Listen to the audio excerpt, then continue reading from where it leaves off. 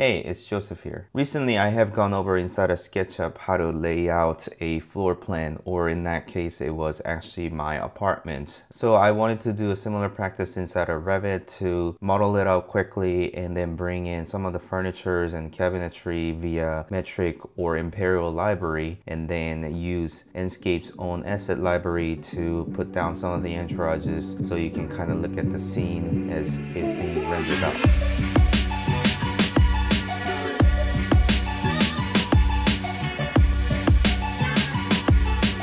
So the very first thing to do is to start up Revit. And I'm just going to start a new project or new model in this case and construction template and I'm gonna change that to architectural template and okay. And once that comes up, I'm gonna find the correct floor plan that I'm using. So I'll be using this floor plan that I found and I was using the same exact plan for SketchUp. So I'm just gonna use this in here as well. So I can just close this and then pretty much drag and drop into my scene here.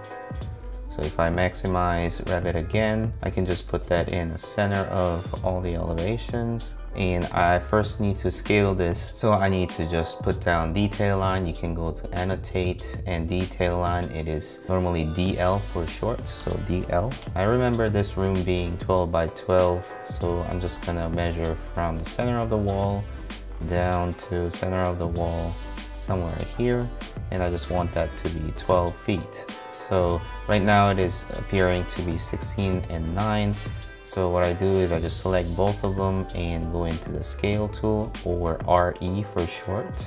And then what I do is just snap onto this endpoint here. And then I want this distance to be at 12 feet. So one, two feet, enter. And then now that line should be at 12 feet as you see right here. Let me just go over a couple of more measurements to make sure things are in order. That's looking okay there. So I'm just gonna delete this right here and then go to architecture and wall. I think we had used six inches before, so I'm just gonna go ahead and use that and then just start to mark it up here. And good thing about Revit is that it's just gonna snap onto a whole inch rather than half inch or a fourth and so on. So you can just quickly follow all of these walls and you can trim it, extend it.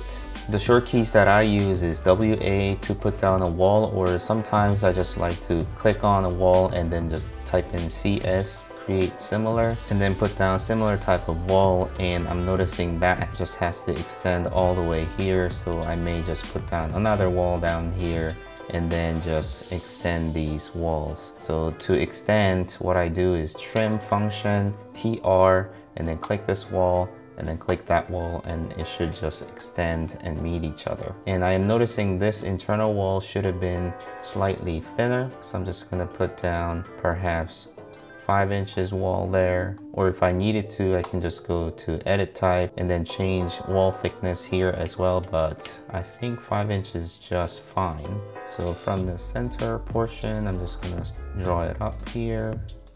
And then that is appearing to be thinner wall there and I can just scoot down just using the arrow key. And I can certainly go over and then just trim it down like so. So it's quite a standard practice for you to just kind of go over walls like that and even internal walls. And then to really trim things and clean up. Trim these two and then I also use TT, which is a shortcut that I have assigned for trim extend single element. Then I can just trim it to that wall. Same thing right here. Then I can just run it against that wall, that wall. Perhaps another wall right here. And that needs to meet on the corner. and perhaps this needs to extend. If I want that to extend, I can just drag that up to here and then it'll run like so. And then this wall right here to be extended over here and So it is looking like it just generally followed most of the walls. And the next thing I will do is just put down the doors. I can just go to architecture door and it will just bring up default door some of the rooms might appear to be smaller door, so I can just go ahead, click on smaller door. I'm gonna go with 3480. That is still appearing to be a bit too wide, so maybe 30 and 80.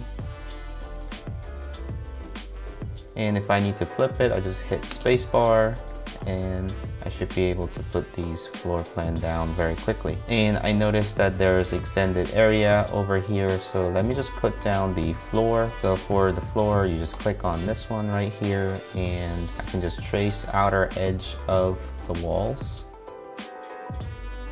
And you can of course just tap to select all the perimeter, but it'll go over an entire wall like so. So it's not really useful in that case. So I would just go over all the walls like this and then trim afterwards. So trim these two because I want a floor to run to include patio and deck. And then trim this and if there is any error it'll flag me up. so if I check that the floor has been laid down there. So as soon as I put down floor the image will go away. If I need to bring that up I can just put it down as a foreground so I can look at the plan. However I am not seeing the walls that is behind this image. So perhaps the better way to do this is right click on the floor itself and then I can actually change the transparency of the floor. That way you just see the image behind it so you can also put down a ceiling over it, so ceiling, and then I can just go over certain rooms. In my case, I just want to put down ceiling for the entire house, so I'll do the same practice of tracing it. I already have a floor, so what I'll do is I'll just hover over this floor line and tab until I get the entire parameter. And I'm guessing perhaps in this area it will receive different ceiling, so let me just go ahead and go over that area. Uh, by the way, I was hitting PL for pick line, which is not a default shortcut, but it's a custom shortcut that I always use. And trim this, and so that the ceiling is going over rather than running over the patio. So trim these two, okay. So my ceiling has been put down, however, it's not gonna show because this is a floor plan. So everything is looking good, save this one up. So everything is looking good. Let me just put down some of the cabinetry perhaps. So I can go to component and just click on the component. It will have a desk and some of entourages that are available in here. Maybe I can just put down this desk right here, this bedroom, and maybe one inside of living room. And if I had wanted some different type, I can just click on this one, which is a student. I don't know what's difference exactly. And this is slightly bigger desk. And maybe it's a desk area for living room so it is slightly larger. So let me put that down in this corner. I can snap it by just snapping this edge to here and I can just click on the component again. And there's nothing that I want to bring in at this point. So what I will do is load family and as soon as I do that it should go into the default library of families. And then I can go into casework. And then I can do base cabinets maybe the kitchen sink unit. So open that one. And then I can just drop it right there. So perhaps a single door and drawer on this side right here next to it. And then I can do another one and then I can do the two drawer type over here. And it is appearing to be slightly wider unit so I can go here and pick out the wider unit that is too large 42 perhaps. And then let's attempt the countertop as well. So if I load family I can go one up and then countertops. So perhaps click on this one, okay. I just need to flip this by mirroring this. I can just draw axis or DM in my short key and then do that and delete this one so that it is mirror onto other side. Actually, this doesn't really make sense. So let me extend that wall there. And actually is a good idea to click on this and pin it so that you don't end up moving them. And also to have a bit more cabinetry down here and I can select on the unit behind this countertop by just dragging it like so and then copy and then rotate RO and then I can rotate that around. I'm not sure which way is the front, so I'm just gonna put it down and worry about flipping them later on. In order to copy, I just type in CO and then I will be able to just move it. And if I want to move it, I selected MV and then snap onto the edge right there. And I just need to populate this scene a bit further. So immediately I can just click on this button right here, default 3D view. If I click on that, the 3D view will pop up and then I can hold down middle mouse button to pan and hold down shift key to orbit which is actually the complete opposite of SketchUp. I cannot see anything because I have a ceiling that is hovering right here. If I click on it, it becomes actually transparent so I can start to see some of the stuff. I am noticing my cabinetry is not oriented the right way. If I want to see both of the windows, I just type in WT and then it just tiles the window and I can go here and change this one and then I can just orient this cabinetry around the correct way. Although I'm not seeing the same orientation inside a 3D view because the ceiling's still in the way, I can go type in VV and then it just brings over this dialog here and then I can just uncheck the ceilings okay and the ceilings will go away and I can see the cabinetry has been oriented properly. It's looking like it's going inside of the wall there so let me just bring that out further and then perhaps snap back using on snap feature. Same thing bring it up. And by the way if you hold down shift and arrow key it will nudge a bit further than just hitting arrow key. MV to snap onto this wall right here so that the cabinetry is in like so. So let me just verify all of others are oriented properly. That's good. And it is also looking like the sink is not really possible over these two units. So let me just put it over here by just flipping it and then move over.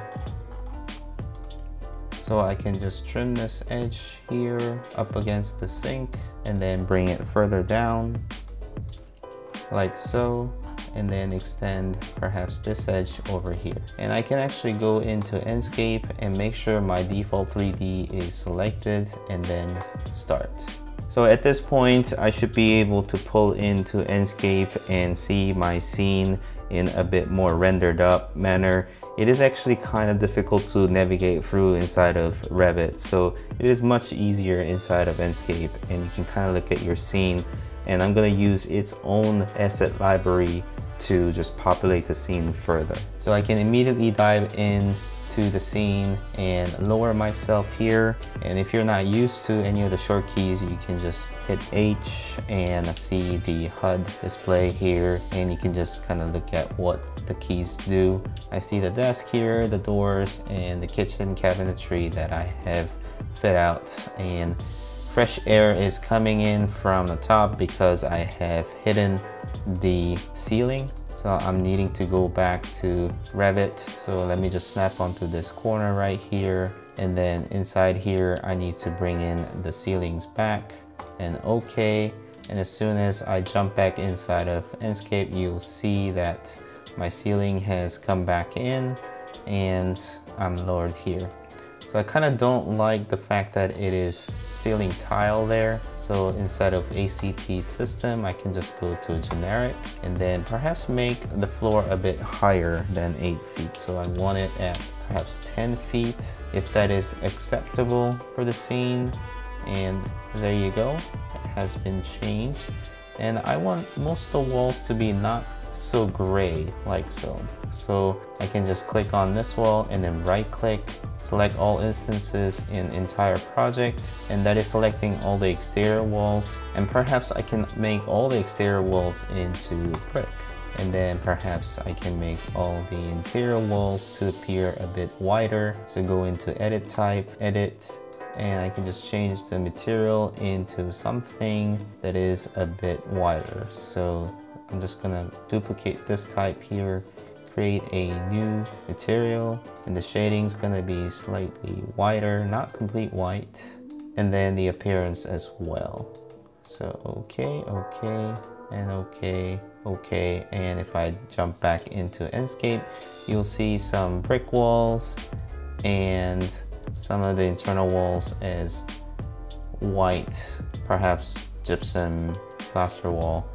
So that scene is prepared like so and I can just go into detail of using different wall types but I'm just going to quickly populate this scene rather than focusing on wall types. So I can just look at this view right here and then I can go back to the floor plan and just go into Enscape and there's going to be asset library.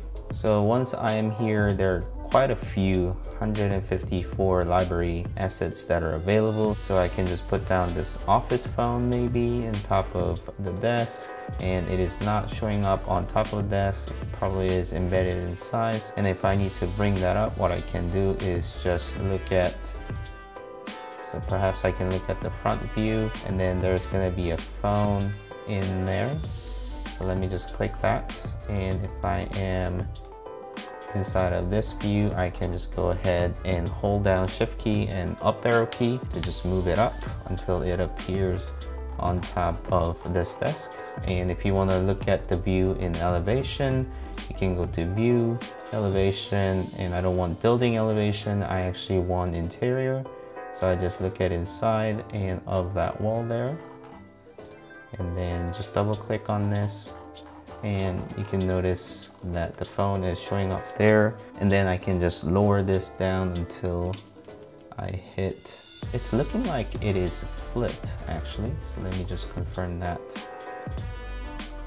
And perhaps move this elevation so I can just rotate RO 180 degrees. Let's see how that looks like inside of Enscape.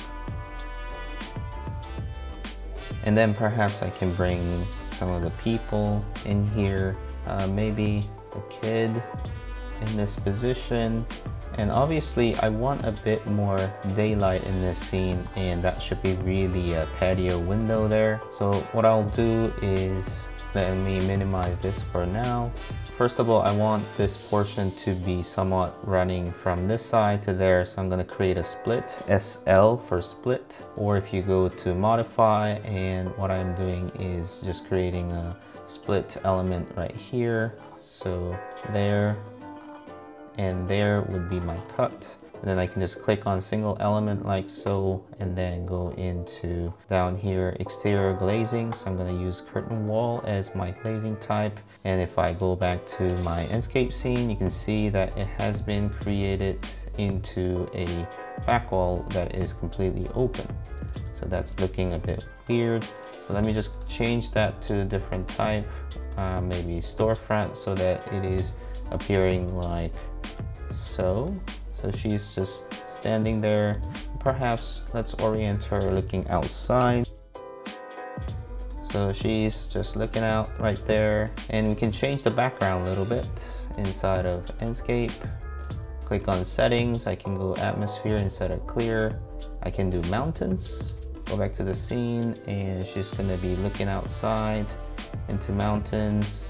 And then let me just put down a bit more assets asset library and click and then go into furniture. I can put down lounge chair, maybe on this side.